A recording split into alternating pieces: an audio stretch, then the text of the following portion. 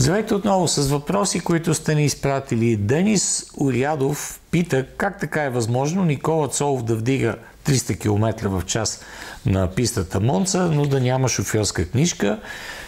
Причината за тази разлика произлиза от начина по който се участва в автомобилните състезания, където е а, изискване от страна на организаторите, от страна на, на ФИА да има състезателен лиценз. Състезателният лиценз се формира на базата на резултатите, които той има в предходните категории на автомобилния спорт, дори на картинг спорта.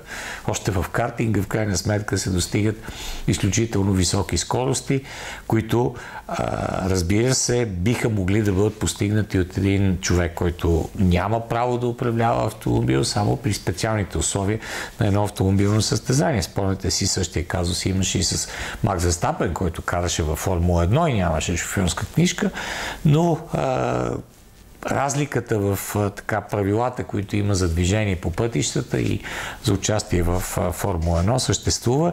Никога в историята на спорта не е имало изискване един пилот да има шофьорска книжка. Той може да няма шофьорска книжка, да не може да има право да кара изобщо, въпреки възрастта си, на много по-голяма възраст, да кара по улиците, но може да има състезателен лиценз и да участва в автомобилно състезание. Благодаря за въпроса. Ще бъдем отново заедно скоро.